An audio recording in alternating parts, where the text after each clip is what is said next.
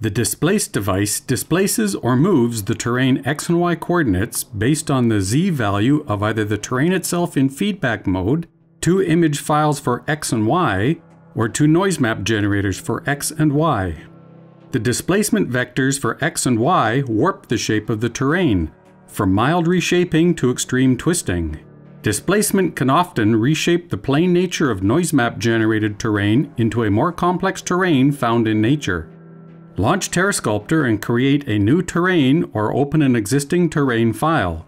For this video, we will create a terrain from one of the presets. The Displace device is located on the Transform menu. Displace is only available in the Professional Edition. The Displace dialog contains the following sections.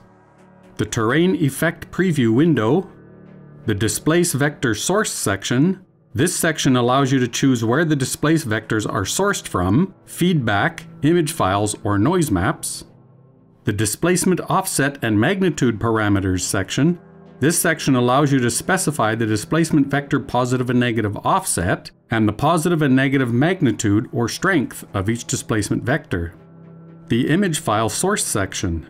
When the vector source is set to image files, these two Browse File Spec text boxes must contain the names of the two files to use for the displacement x and y vectors.